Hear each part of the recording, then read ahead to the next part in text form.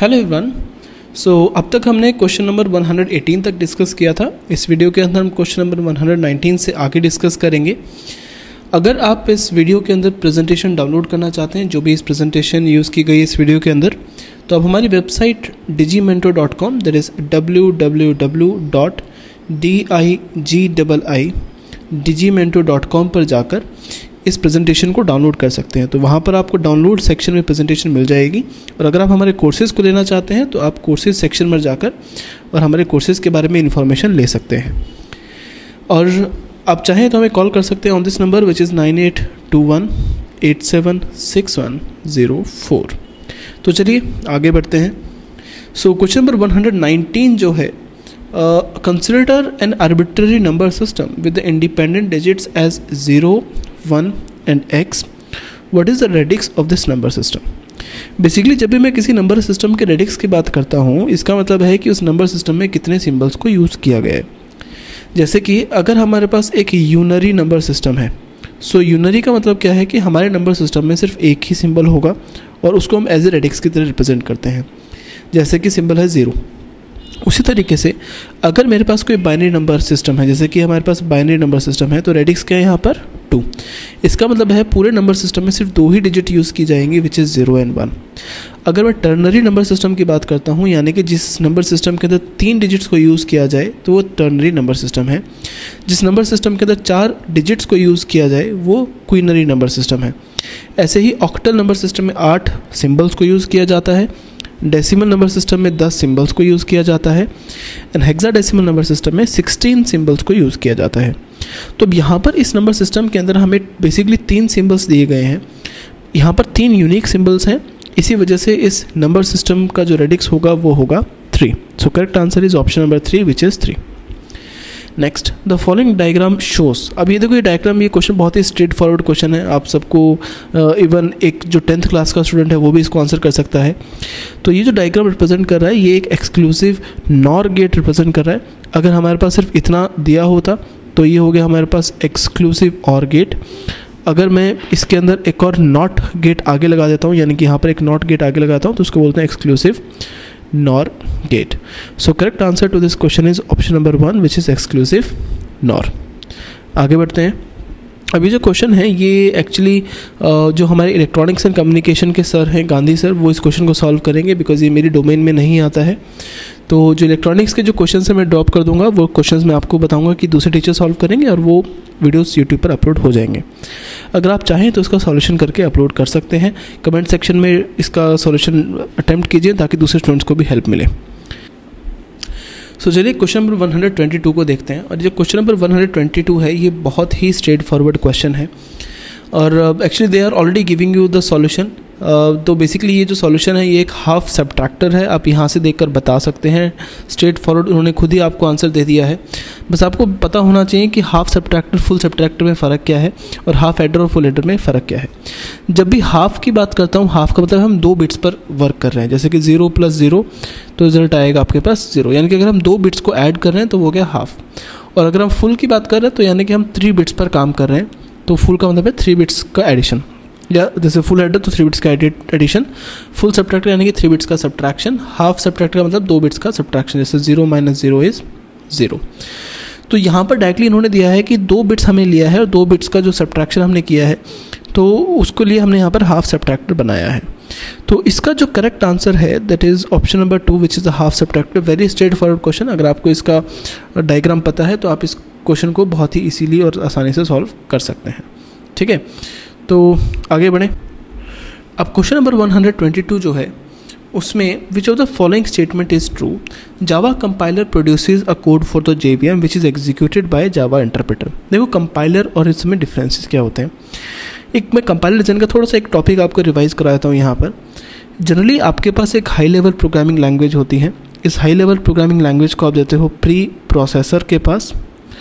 और ये जो प्री प्रोसेसर है, ये फर्दर एक आपको प्योर हाई लेवल लैंग्वेज देगा, जिसको आप देते हो एक कंपाइलर के पास। और जनरली ये जो कंपाइलर है, ये आप एक, आपको एक असेंबली लैंग्वेज कोड देता है असेंबली लैंग्वेज कोड और इस असेंबली लैंग्वेज कोड को आप देते हो असेंबलर के पास। असेंबलर फर्दर इस कोड को देता है लोडर एंड लिंकर के पास। और लोडर और लिंकर के बाद फाइनली हमें एक एग्जीक्यूटेबल कोड मिलता है। अब जनरली जब मैं जावा कंपाइलर की बात करता हूँ तो जावा कंपाइलर जो है, वो हमें एक डिफरेंट टाइप का कोड देगा तो जिसको हम बोलते हैं बाइट कोड सो जावा के केस में Java is a high level language program इस Java high level language program को हम देते हैं कंपाइलर के पास which is a Java compiler okay अभी तो जावा कंपाइलर है फर्दर ये जावा कंपाइलर हमें देता है बाइट कोड अब ये जो बाइट कोड है basically it is a three address code तो जिसको पता है, आप सब ऑलरेडी आई थिंक पता होगा थ्री एड्रेस कोड क्या है। और ये जो बाइट कोड है फर्दर हम इस बाइट कोड देते हैं जावा वर्चुअल मशीन के अंदर। और जावा वर्चुअल मशीन जो है, वो उसके अंदर बेसिकली जावा वर्चुअल मशीन के अंदर इस कोड को इंटरप्रेट किया जाता है। तो इसको इंटरप्रेटर का मतलब है एक फॉर्म से दूसरे फॉर्म में कन्वर्ट करना। तो जावा वर्चुअल मशीन के अंदर जो जावा इंटरप्रेटर है इंटरप्रेटर वो इस कोड को कन्वर्ट करता है मशीन कोड के अंदर। सो so बेसिकली ये जो कंपाइलर है, वो किसी भी प्लेटफॉर्म का हो तो बाइट कोड आपका जनरली जावा जो कंपाइलर है, वो सेम ही जनरेट करता है। जो डिफरेंस आएगा, वो जावा वर्चुअल मशीन्स के केस में आएगा। तो इसी वजह से जावा का प्रोग्राम कहीं पर भी एग्जीक्यूट किया जा सकता है। जो बाइट कोड है, इसको किसी भी क्रॉस प्लेटफॉर्म पर बाइट कोड को एग्जीक्यूट किया जा सकता है। तो यहाँ पर जो करेक्ट आंसर है, वो है ऑप्शन नंबर वन आगे चलते हैं। क्वेश्चन नंबर 124 अगेन ये उसी तरह का क्वेश्चन है जहाँ पर स्ट्रेट फॉरवर्ड किसी बुक से स्टेटमेंट उठा दी गई है और आपको पूछा है कि इसका आंसर क्या होगा। N A is also called as a data selector is a combination circuit with more than one input line one output line and more than one select line so basically इसका answer है multiplexer multiplexer के अंदर if this is representing a multiplexer तो multiplexer आपका two cross one multiplexer हो सकता है, या फिर फोर क्रॉस वन मल्टीप्लेक्सर हो सकता है। एज्यूम हमारे पास फोर क्रॉस वन मल्टीप्लेक्सर है।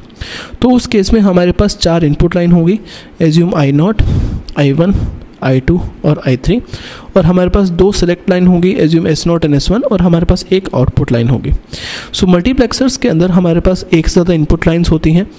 एक से ज़्यादा सेलेक्ट लाइन हो सकती हैं और आपके पास एक आउटपुट लाइन होगी। So correct answer here is option number two very straight forward question बस यही पूछा गया कि आपको मल्टीप्लेक्सर के बारे में पता होना चाहिए।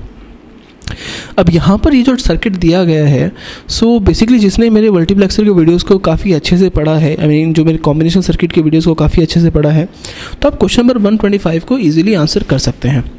क्योंकि मैंने एक क्वेश्चन जो है स्ट्रेट फॉरवर्ड अपने वीडियोज़ में कवर कराया है और वहाँ से क्वेश्चन को स्ट्रेट फॉरवर्ड यहाँ पर पूछा गया है।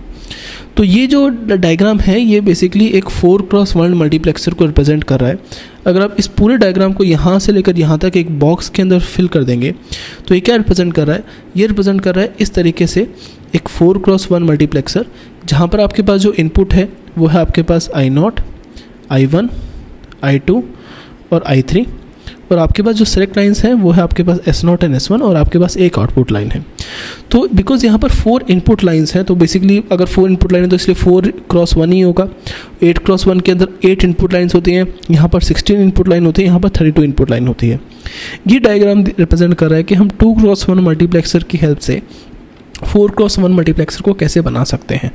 तो correct answer here is option number one which is a very straight forward question which is one hundred twenty five अब जो 126 है अगेन ये भी आपके पास एक बहुत ही स्ट्रेट फॉरवर्ड क्वेश्चन है so dash multivibrator circuit is which in which both low and high output states are stable so basically I think ये मेरा डोमेन नहीं है बट uh, मैं फिर भी अपनी तरफ़ से आंसर कर रहा हूँ। अगर इसका आंसर मैं गलत दिया तो प्लीज़ डोंट माइंड मैं सर को बोलूँगा जो इलेक्ट्रॉनिक्स का सर है वो इसको प्रॉपरली सॉल्व करें। इसका जो करेक्ट आंसर है वो ऑप्शन नंबर टू है that is bistable multivibrator हमारे पास एक बाई स्टेबल मल्टी वाइब्रेटर होता है जहाँ पर आपके पास दो इनपुट्स होते हैं तो आई फील uh, इसका आंसर है option number two which is bistable multivibrator again 127 जो क्वेश्चन है ये भी मैं इलेक्ट्रॉनिक्स वाले सर को बोलूँगा वो इसका आंसर आपको प्रॉपरली देंगे और 128 भी इलेक्ट्रॉनिक्स वाले सर के लिए ही रहेगा अब जो 129 जो क्वेश्चन है web page contains many small images. We can speed up the performance of the browser by which of the following? Option number one, having multiple processes executed simultaneously. Option number two, having multiple threads. Option number three, increasing the speed of the transmission line. And option number four, increasing the main memory of the system.